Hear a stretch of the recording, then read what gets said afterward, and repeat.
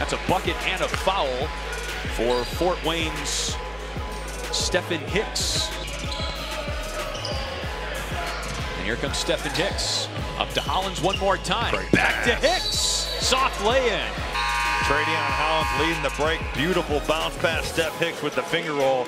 And Bo Patton wants to talk this over. He's going to take a timeout.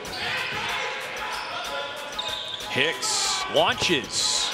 There are some impressive shooters on this Fort Wayne team. Hicks from deep. Yes. Steph Hicks is a good player, man. I had not seen him play leading up to this, but I am impressed. And that's Trey McKinney Jones. Short with the shot clock running low. rebound. Wow, Steph Hicks. Just a live wire athlete.